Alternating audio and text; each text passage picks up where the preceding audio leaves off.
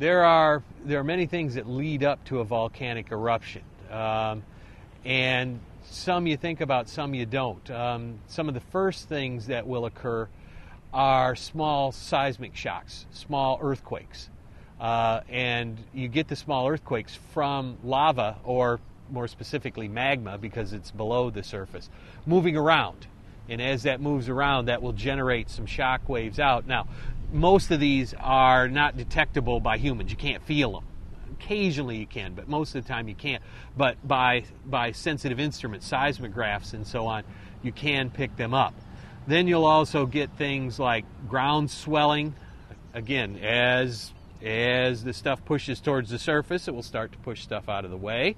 Um, as it pushes towards the surface, it will start to heat stuff up, and hot things swell up. So You'll, you'll get bulging of the Earth's surface. Again, many cases this is not particularly noticeable by people, but again, by instruments, yeah, we can pick these things up. Eventually, sure, it will push enough stuff out of the way. You'll get gas releases.